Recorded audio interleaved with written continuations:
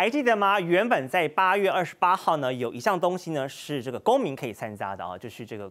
投票要公投，有什么样的议题呢？哦，真爱早教哦，反莱猪，重启核四，还有公投榜大选等等。但是因为现在疫情的关系呢，中选会告诉大家哦，要延到十二月十八号。但有人觉得很奇怪啊，其实，在八月二十八号还有一样东西要来选，选什么？就是投票的。就是这个激进党的立委哦，陈柏维的罢免案，但是目前很奇怪哦，他还是不变哦，哦，他还是一样定调在八月二十八号。所以对此呢，就有人觉得你这是双重标准吗？为什么说双重标准哦？选委会告诉你了，如果呢，如果八月二十八号大家出来公投的话呢，哎呦。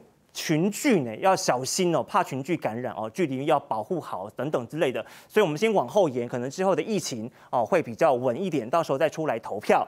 但你奇怪啦，那你陈柏维的罢免案你定在二月二十八号，那请问台中市长没疫情了吗？还是台中人的命就不是命了？你看对此哦，三 Q 总部的领衔人啊杨文元就讲了，台中第二选区的命哦，难道就不是命吗？还是说是趁机哦要来？保一下陈柏维呢？因为八月二十八嘛，可能疫情还稍微比较紧绷一点点，那怕的人就可能会选择不出门投票了。所以是不是就此啊，想要降低他的这个投票率等等，是这样子吗？很多人有疑问，你是什么样的意见呢？欢迎你在我们的留言板写下来。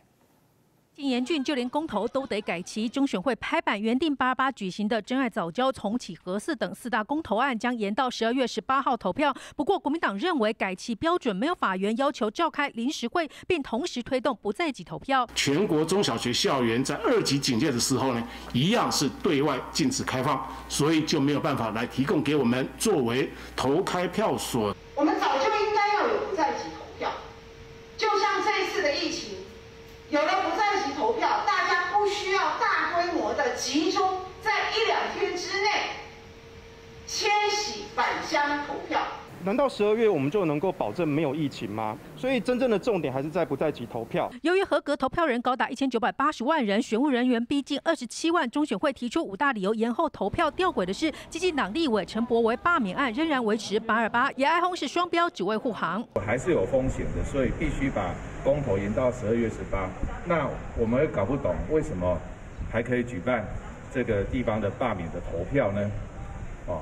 所以中选会不要有双重标准。台中人是二等国民吗？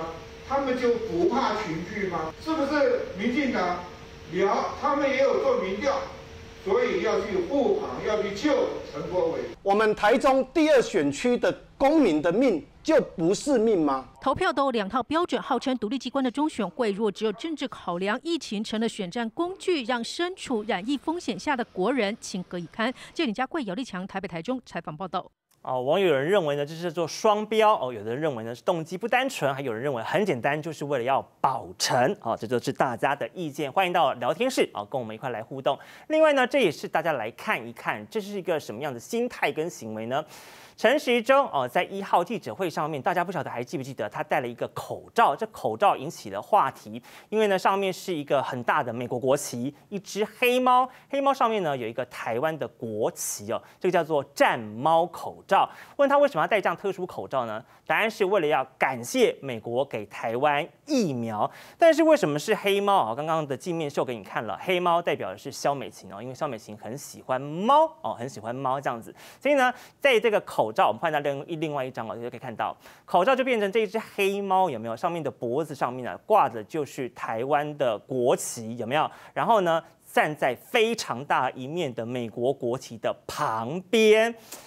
这跟之前，比方说，哦，我们跟捷克见面好了啊，他那时候有口罩嘛，对不对？但至少两边的国旗大小一样吧，一比一吧，哦，怎么这一回美国跟台湾，美国就特别大，台湾基本上看不到。你你不跟我讲说是台湾国旗，我还真的看不出来是台湾国旗，就以为是一只红色的鱼被猫这样叼着而已哦。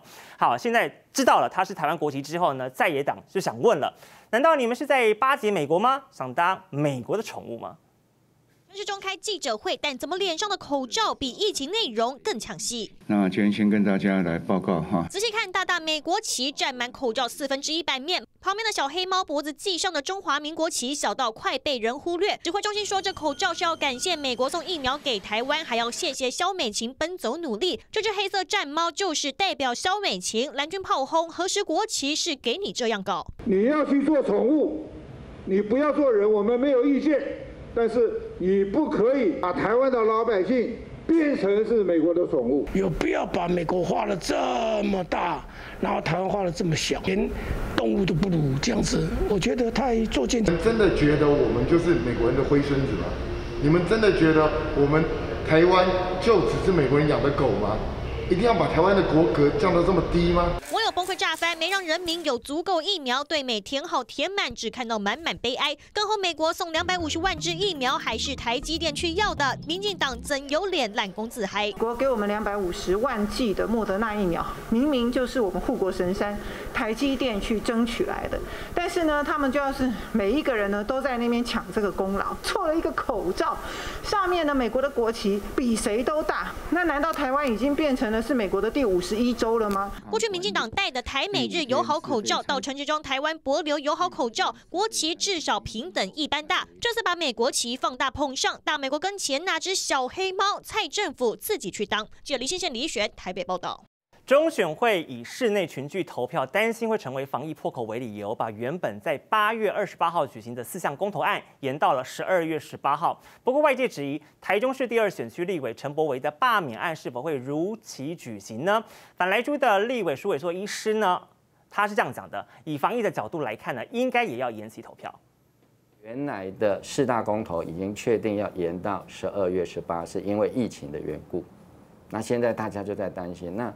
难道台中市的第二选区还要再如期投票吗？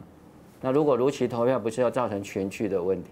啊，虽然七月十二是有机会解除三级警戒，但解除三级警戒之后，并不代表我们国内的疫情不会有任何的一个变化。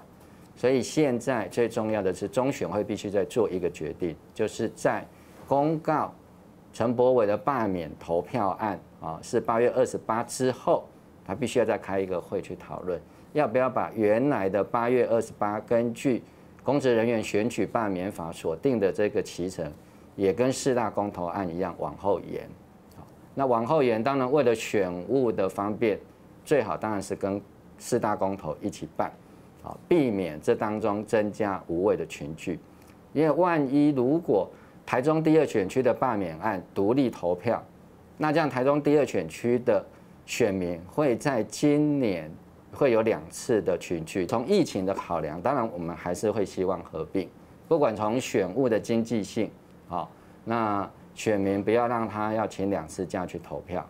再来，当然是最重要的疫情的考量。